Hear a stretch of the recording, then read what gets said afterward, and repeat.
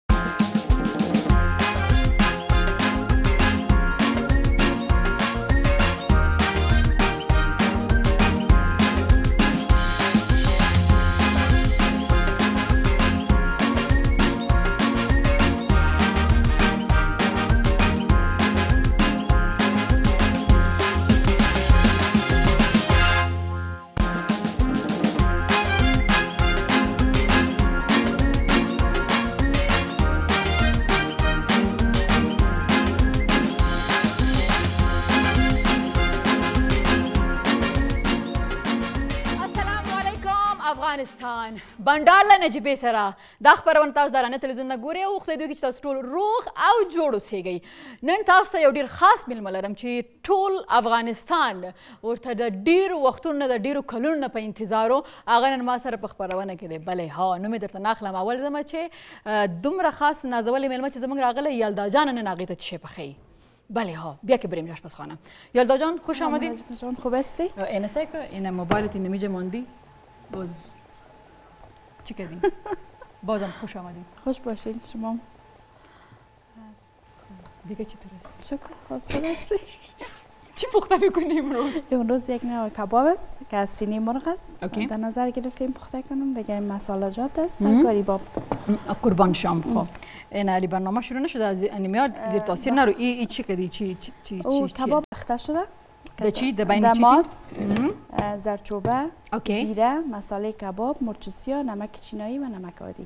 یک کمک سرکه به چقدر وقت بیا یک ساعت پیش باید اخته شم یو یو ساعت یک ساعت پیش خا صحیح ده اوکی صحیح ده خا نو راځي چې ګورو د دې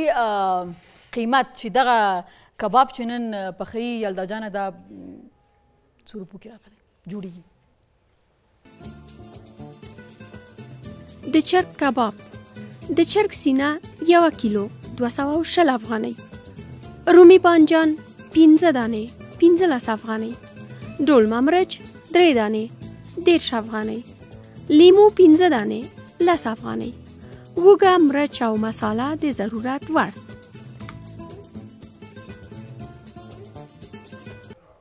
او نو تاسو معلومه شوه چې په څومره کمو پیسو کې څومره مزیدار نن تاسو ته کباب تیارې څوک یا الدا جان الجن ته به خپل اشپزي شروع کړي او زه به نو لیدونکو ته چې نن زمونږ میلمه څوک دی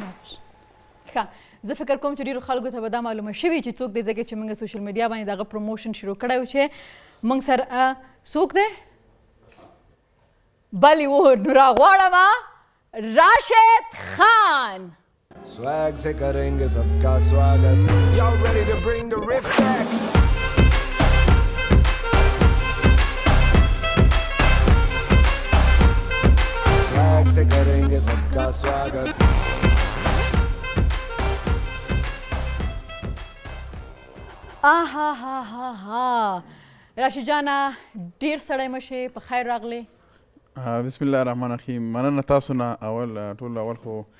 تاسو ته او د بنډار د نجیبې سره ټولو ته سلامونه او نیکې هیلې. مننه چې دلته مونږ دعوت کړو راغلو او سره وم لیدل. ستا څخه ډیره زیاته مننه ځکه چې ستا د افغانستان خلک ډیر زیات لیواله او دیته چې ته باید د انټرویو ورکې او خپل وطن ته خامخا راغلی ډیر ځل خو دا چې وخت نو ډیر کم چې ته باید کم تلویزیون ته تللی وې انټرویو نو نن دا مینه تاسو مونږ ته راکړه ډیره زیاته مننه خیر اوسې کور دې ودان ماته هم همیشه همدا میسجونه راتلل چې تاسو ولې د افغانستان پروګرامونو ته نه راځئ او بیخي په دې کې ګډون نه کوئ خو ما هم کوشش کوو ډېر له مصروفیت ډېر زیات و میسجونه نو زم ډیر وخت وروسته د افغانستان ته راغلم نو بیا مې ویل راشه پروګرام ته به لاړ شو مینوالو سره به هم وګورو دا او ځکه چې دغه خپرونې چې شروع شوي دي لایو نو دا یوازې یو لاره ده د خپل د ستورو او د خپل لیدونکو چې کنیکټ شي ورسره او انټراکشن وکړي ښه نو دا راته وایه چې کرکټ څومره چې زه معلومات لرم د کور طرف نه چا چا تشویق کولی که دا دا کیسه راته لږ وکړي و بالکل شروع کې ډیر مشکلات وو ځکه کور نه اجازه نه وه شوق هم کرکټ سره ټول ورونو او دا وجه ولی دا ولی وای چې کرکټ ته نه پریږدوي که وګورې په هغه وخت کې د افغانستان آینده نه وه افغانستان انټرنیشنل ټیم نه ولو افغانستان میچونه نه ولو خلک سره دا علم نه و چې افغانستان کرکټ په یو وخت کې یو دغه ځي ته ورسي چې نړیوال خلک به پیژني نړیوال لوبو کې به لوبیږي هغوی هم په خپل ځای صحیح و ځکه نه میدانونه او یو شی هم نه و دلته په افغانستان کې نو چې کله به یو ماشوم یو ماشوم ویل چې زه غواړم چې کرکټ وکړم په آینده کې نو خپل فامیل به دا سوچ کوو چې افغانستان خو فیوچر نشته نو فیوچر نشته دا به چی کی و وخت به دا بچ درس وای کنه نو همدغه مشکل ما سره مو ما ته مو چې فامیل خاص کر مور او پلار اجازه نه راکوله ته باید تعلیم وکړې نو رونو مې ټولو کرکټ سره ډیر زیات شوق وو کور کې به چې کله به مکتب نه رالو نو بس همدوی سره به تر ماښام پورې لګیا وو او کرکټ به هم کوو هم ماشومتوب نه هم شوق ورسره و نو همدغسې چې کله بیا زه نولس لوبې کې لوبېدم خپلو ملګرو سره په پټه به تلم کور نه مور ته مې بیخي ویل نه دا وروڼه خویندې خو ډېر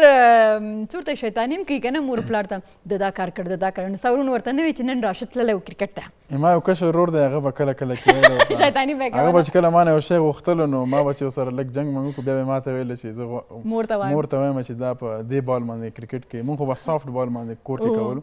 نو هارډ بال خو به ډېر سخت و یو ورځ مې مور ته یې راوړو کور ته چې دا وګوره په دې بال باندې دی کرکټ کوي نو ما ته بیا بیخي آه، څه خبره آه، یو لس پنځلس ورځې خبرې هم نه کولې چې تا ولې په دې بال باندې لوبه کړې ده که دې باندې ته خوږ شې آه. او نو ځکه اجازه نه وله ښه نو نو دا راته وایه چې مکتب کې څنګه وې؟ مکتب کې ښه سوی ولم همیشه به لږه زما پوزیشن به چې ټاپ سیون کې به و لږه دې نه به نور هلته نه تلم ففت سکس نه به لاندې راتلې نه به راتلې همدومره به ول مکتب سره هم شوق هم ډېر و غوښتل مې چې مور مې ویل چې ته باید ډاکټرۍ سبق وای ته باید ډاکټر شې ځکه مونږ کور کې ډاکټر څوک او تا خپل تا خپل ځکه چې تا ویل چې هغه وخت کې دا تصور هم مونږ نشو کولای چې په افغانستان به یو کرکټ ټیم ولري او هغه به دومره پیاوړی نو بیا څنګه تا څه سوچ کو په وړکوالي کې چې کله مکتب کې ځکه دا خو ستا لپاره به یو